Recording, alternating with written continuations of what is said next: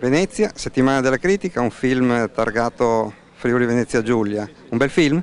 Beh, è un film emozionante, io direi che è un film davvero che, che, può fare grandi numeri ed è un film che promuove il territorio del Venezia Giulia in modo pieno, a 360 gradi, con i suoi attori, il suo regista, con uh, la fotografia migliore del nord-est e soprattutto è un nord-est che si apre alla Slovenia e si apre, supera i confini. Quindi ancora una volta la cultura patrimonio di questo territorio da mettere quasi a frutto per tutto il Paese. Come ha detto il direttore generale Borrelli si tratta di un'industria e di una cultura, vanno tenute insieme perché significa investire, significa fare cultura ma fare anche tanta economia per i nostri territori.